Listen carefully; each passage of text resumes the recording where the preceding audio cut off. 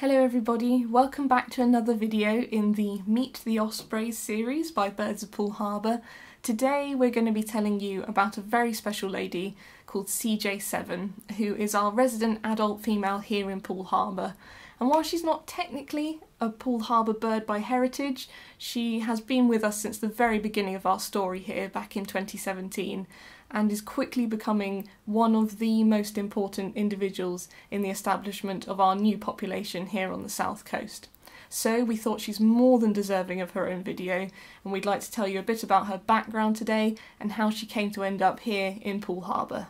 Despite not being a direct product of translocation herself, CJ7 actually has very strong ties to this process, and that's because both of her grandfathers were males that were originally translocated to Rutland Water in the 1990s and early 2000s as part of the first ever osprey translocation project within Europe.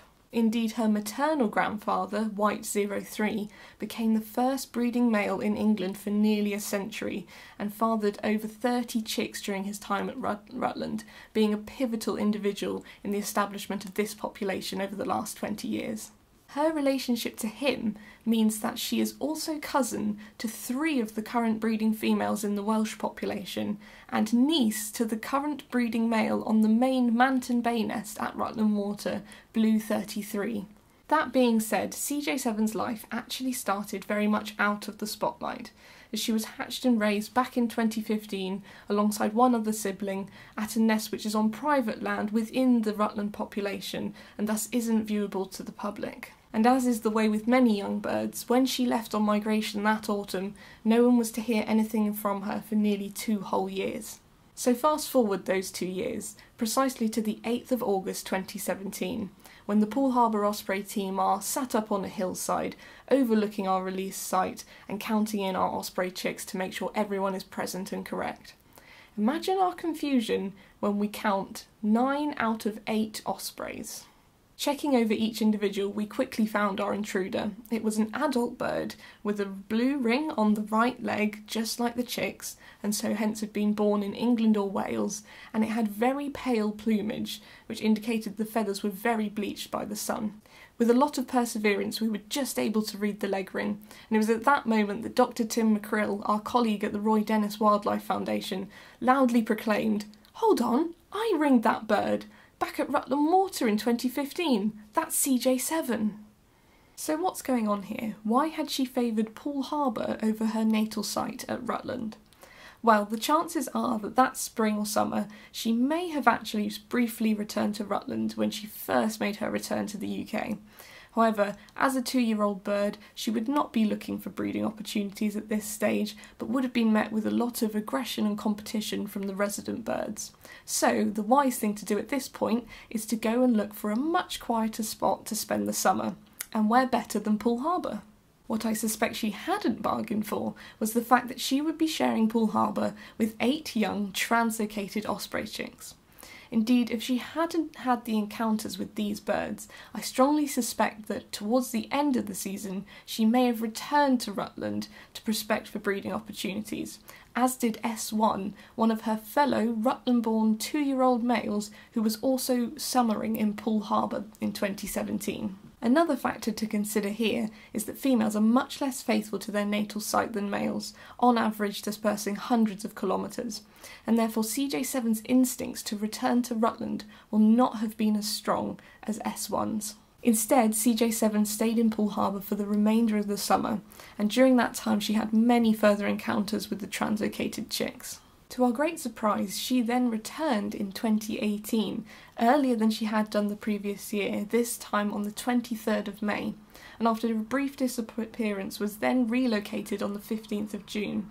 She then proceeded to remain throughout the summer and repeated her performance from the last year of interacting with a new set of translocated chicks. Thus far, almost all of her behaviours that we'd observed in Poole Harbour were non breeding orientated. She had spent most of her time catching fish, interacting with other birds, and generally exploring the landscape. This behaviour changed very starkly, however, when she first returned in 2019. She arrived back on the 1st of April, which is relatively early and much more typical of an established breeding individual, and it just goes to show how much her instincts had advanced in that short period. Within one or two weeks, she was already adding a substantial amount of nesting material to a number of the different artificial nests that we've placed around Poole Harbour. She was soon encountering other individuals passing through the harbour, for the most part female, including a young Scottish female, two years old, named PA1, who, after spending a few hours in Poole Harbour, was photographed less than 48 hours later at the Dovey Osprey nest in West Wales. Sadly, no interactions with males were recorded, and CJ7 was unable to persuade any other individuals to remain in the harbour with her over the summer. However, this all changed on the 12th of June, when young male LS7, who had originally been translocated to the harbour in 2017, made his return and was photographed alongside CJ7 on one of the artificial nests. The pair proceeded to spend the rest of the summer together, and after interacting, nest building, a few copulation attempts, plus encounters with the new translocated osprey chicks, their bond both to the site and to each other was very well established, and we were all very excited for what 2020 might bring. Over the winter, we got to work installing a live stream camera on their favourite nest in the hope that if and when they returned in the spring, we would be able to capture every behaviour for the whole world to see. Almost like clockwork, CJ7 arrived back on the 2nd of April, just one day later than her previous return, but her behaviour was very different to what we had expected. She was only making very sporadic appearances on a few of the nests in the harbour, and it took her over a week to finally return to her favourite nest where the live stream camera was attached. However, this all just seemed to be a blip, and fortunately, as soon as she found it, she was back into old, her old ways and was immediately adding nesting material, scraping out a nesting bowl, and all that we needed was for LS7 to come back safe and well. I must say, at the beginning of the season, we were all utterly convinced that he would be back, and it was only as the season progressed that we started to realise that something wasn't quite right. And we weren't the only ones. All over the country, other people were noticing that there was a distinct lack of ospreys moving through in early spring, and a number of prominent breeding individuals did not return to their nests. We believe that the strong easterly winds that persisted throughout March and April this year across northern Europe may have posed a significant and severe barrier to the migration of many British ospreys, and indeed some may have been pushed out over the Atlantic Ocean, sadly never to make landfall again. Unfortunately, we believe this may have been the fate of LS7, alongside many others from the Scottish, Welsh, and English population. Thanks to the work of our colleagues at the Roy Dennis Wildlife Foundation, we are only now beginning to understand what a devastating impact this has had on the breeding success of ospreys this year. And it is for this very reason that we've been unable to proceed with our translocation project in 2020. Fortunately, it seems that CJ7 is a strong, independent woman who is more than happy to proceed with the breeding season completely on her own. This became very apparent on Thursday, the 30th of April, when in the early hours of the morning she laid her first egg. Now, I know what you're thinking. How could this have happened? Did she maybe have an encounter with a male that we weren't aware of? Well, we believe the answer to that is no, because we were monitoring her behaviour and her movements really effectively during that period, and we were aware of a number of encounters that she had had, and almost all of these were with females.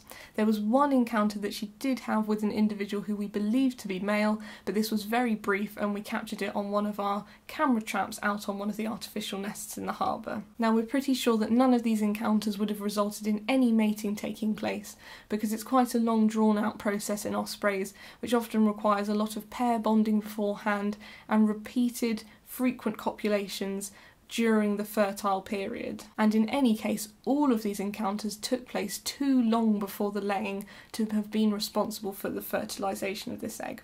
So we were absolutely certain that this egg was unfertilised, and it appeared that CJ7 knew this as well, as she was quite happy to leave the egg unattended on multiple occasions, and she didn't waste any of her own energy incubating it. She went on to lay a further two eggs over the following week, and she treated them in much the same manner as the first.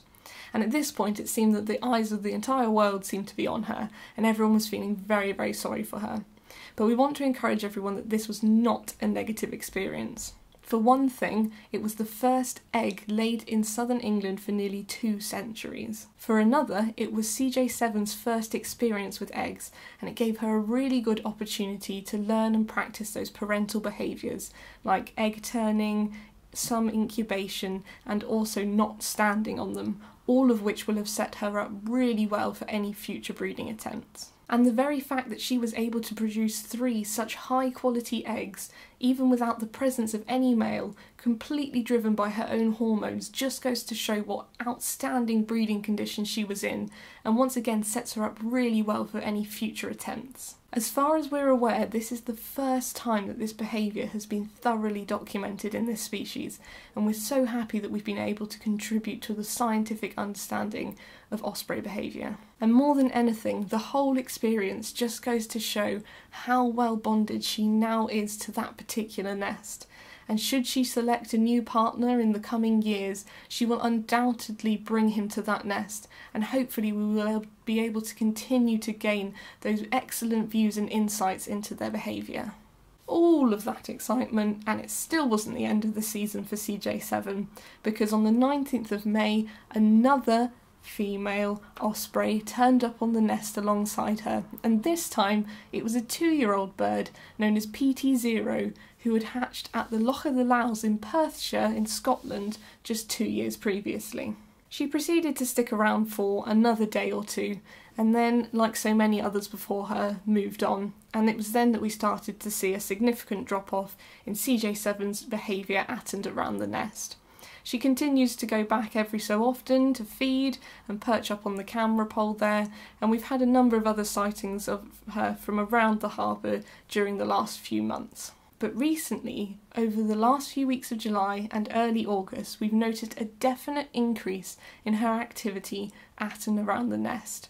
And this includes visiting more frequently, taking fish there to eat, and also some more nest building behaviour. And we think this is all to do with the fact that the number of individuals in Poole Harbour is now increasing again as they move in on their southbound migrations, and she's being very protective of her site and her nest. And as always, these encounters are fantastic for reinforcing to her what a good spot Poole Harbour is for ospreys, especially in the absence of any young translocated birds this year and there's a chance that she might be able to form some social bonds with some of the birds that pass through.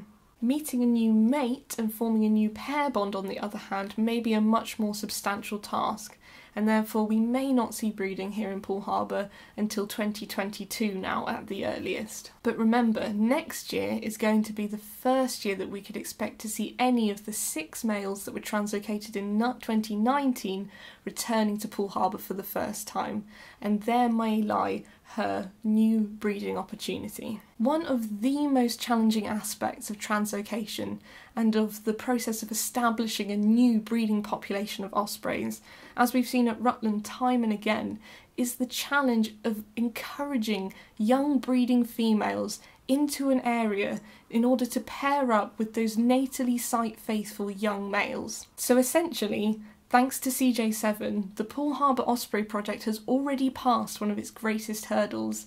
We have a young, breeding conditioned female ready to pair up with any of the translocated males that might return over the coming years. She really and truly is becoming the star of our entire story here in Poole Harbour. She deserves every ounce of the attention that she gets, and she remains to this day the best candidate that we have for the first female breeding osprey in southern England for 200 years. Thank you all so much for watching. I really hope you enjoyed this video. If you did, please let us know on YouTube, Facebook and Twitter. And if you'd like more information about the project or you'd like to make a donation to Birds of Poole Harbour, please visit our website at www.birdsofpooleharbour.co.uk.